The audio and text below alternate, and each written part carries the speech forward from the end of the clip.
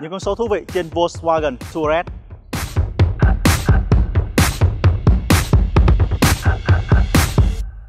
Đầu tiên là không, không cần chạm, vẫn có thể điều khiển màn hình giải trí trung tâm. Một chạm là có thể mở hoặc khóa cửa vì xe được trang bị chìa khóa thông minh. 3 là thế hệ ở phiên bản hiện tại kể từ khi ra mắt lần đầu tiên vào năm 2002. 4 là số vùng điều hòa độc lập của hệ thống điều hòa tự động.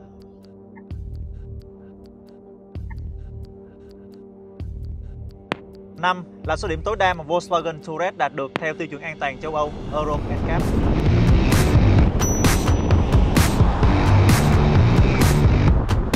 Bảy, là số chế độ vận hành của chiếc xe này.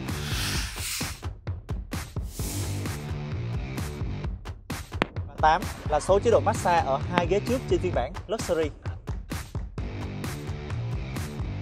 10 là số lượng túi khí được trang bị trên xe, Volkswagen Touareg.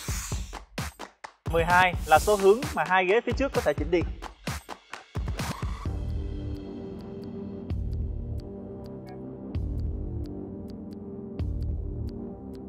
14 là số lượng loa của hệ thống âm thanh DIN Audio trên phiên bản Luxury.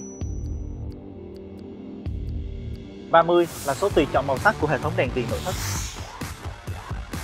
Và cuối cùng, 100% lợi phí trước bạn là ưu đãi mà bạn sẽ nhận được khi mua Volkswagen Touareg ở thời điểm hiện tại. Bạn thấy mẫu xe này như thế nào? Hãy để lại ý kiến của mình dưới phần bình luận và đừng quên follow kênh để cập nhật những thông tin mới nhất từ Volkswagen Việt Nam.